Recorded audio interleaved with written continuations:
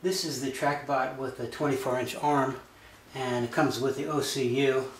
The OCU has the 9 inch monitor, a video receiver, a DVR with a SD card, and the radio. And this is set up so that you can plug everything in using uh, AC adapters. The first thing you want to do is unpack everything and make sure everything's here. The camera is wrapped separately to protect it during shipping. Simply remove the packaging and this lens cap and slide it into this camera mount. There's a little yellow line here which indicates the top. And slide it up to about quarter inch uh, exposed through the front and just tighten it using this little Allen set screw just enough to hold it in place. This is the TrackBot with the arm. This is a 24 inch arm and it includes a uh, pan tilt camera. The camera is mounted into this housing with two LED lights. The lights are turned on with the radio. This is the tilt mechanism and the pan servo is back here and this is the uh, elbow servo and we have a linear actuator on the bottom which activates the shoulder. This is the 50 foot tether and on one end you can see there are two male uh, power plugs. Uh, one's labeled bot and it gets plugged in the bottom. The other one's labeled cam or camera. It gets plugged in the top. To keep these wires from being pulled out, I use some of these wire ties that are included and simply secure the wires to the back handle like so.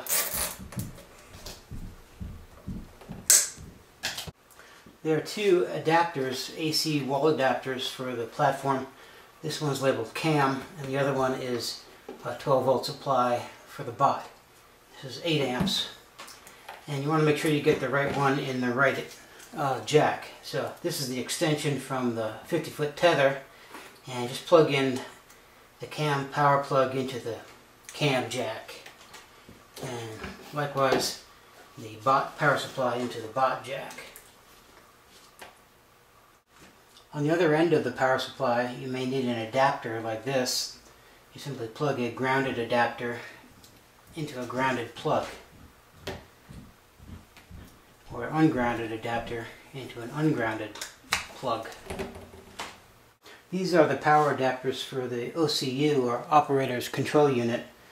One is called DVR 12 volt and gets plugged into the jack or port labeled DVR 12 volt. The other one is called OCU 12 volt in and it's also labeled so you just plug it in here. This is the AC adapter for the radio so we're bypassing the battery and you can plug this in directly to the wall and on the other end is a small plug with a tab and it goes into the bottom of the radio. There's a door that you slide open and a little slot right here. You simply plug it in, tuck a little bit of the wire in and put the door back on. It looks like this when it's done properly. Once you have everything plugged in you can start up the system. Turn on the radio, turn on the OCU, turn on the DVR, and hold down the power button for one second.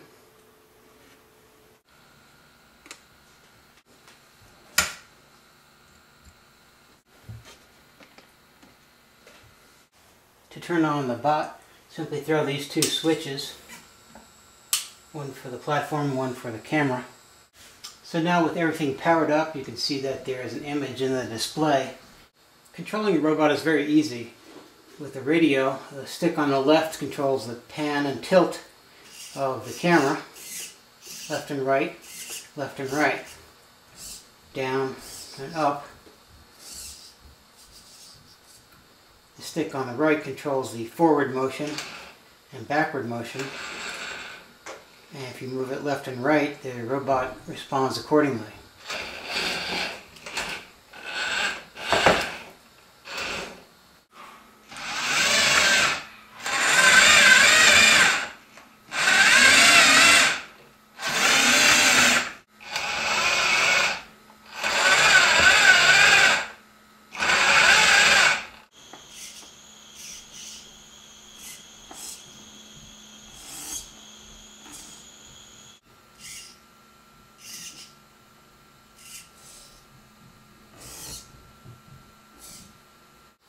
The arm is controlled by these two knobs, uh, the left and the right.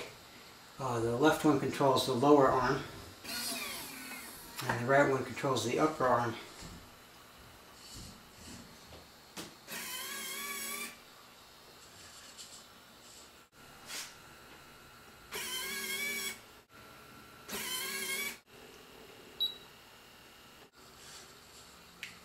This is the switch which controls the LEDs.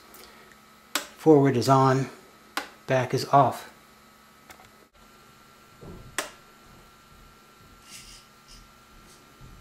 To record the video, simply drive the robot into a position that you want to record, hit the OK button on the DVR, and it'll start recording. To stop, hit the stop button, and it'll stop recording. To record stills, you would simply record a section of video on the DVR, and then it gets recorded to the SD card here. So when you're done recording, you pop this out, and then you can take it to your computer and convert from a video to a still using this little card reader plug it into any USB port